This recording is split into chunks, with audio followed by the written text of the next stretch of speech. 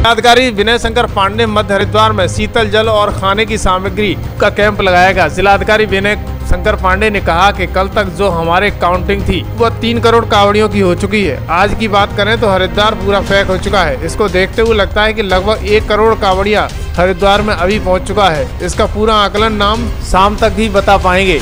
हरिद्वार स्थानीय लोगों को परेशानी का सामना न करना पड़े। उसके लिए हरिद्वार की बाईपास को छोड़कर जो अंदर जो रोड है, उनको बिल्कुल खाली कर दिया गया है। बाईपास से सारी धर्मशालाएँ और होटलों से उनकी कनेक्टिविटी बनाई गई है। हरिद्वार बाईपास में जो बैरिकेटिंग कैंप है, उसमें डाक कावड़ियों की व्यवस्था की गई है, जिससे कि स्थानीय लोगों को परेशानी का सामना न करना पड़े। जिला अधिकारी ने हरिद्वार का भ्रमण किया है। इस दौरान उन्होंने अपनी गाड़ी छोड़कर दो पहिया वाहन से ही निरीक्षण किया। उनका कहना है कि अगर हम गाड़ी से जाते हैं और निरीक्षण करते हैं तो हो सकता है कि कांवरियों की परेशानियों को हम ना देख सकें। इसी को देखते हुए उन्होंने दो पहिया वाहन का सहारा लेकर हरिद्वार से निरीक्षण किया। उन्होंने पुलिस से कहा कि लोगों से कहें कि ज़्यादा से ज़्यादा दो पहिया वाहनों का प्रयोग